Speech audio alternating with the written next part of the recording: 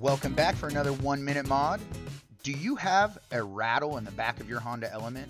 Does your car make really loud noises as you go over bumps? Well, let's figure it out today.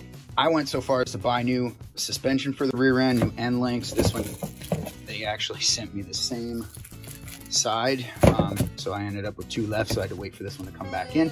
But I've been having this crazy rattle. And so I am working down here and you can see that I have the tire off and I'm gonna go ahead and pull that end link. Well, it's all bound up. So I figured I'd grab my jack here and use this jack to prop up the underside of the swing arm. And then this is what I find down here. So I'm wondering if this is my rattle because this thing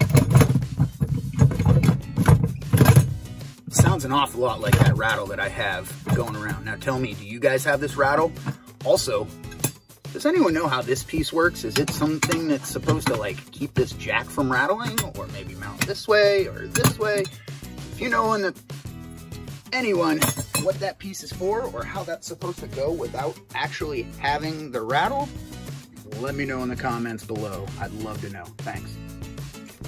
And for those of you out there that are having that rattle, go ahead and check this. Now I know on some of my older vehicles, if you jack this up and actually extend the jack, you can wedge it into wherever it is so that it doesn't bounce around. Want to thank you for coming and visiting our channel today and stay tuned for more one minute mods.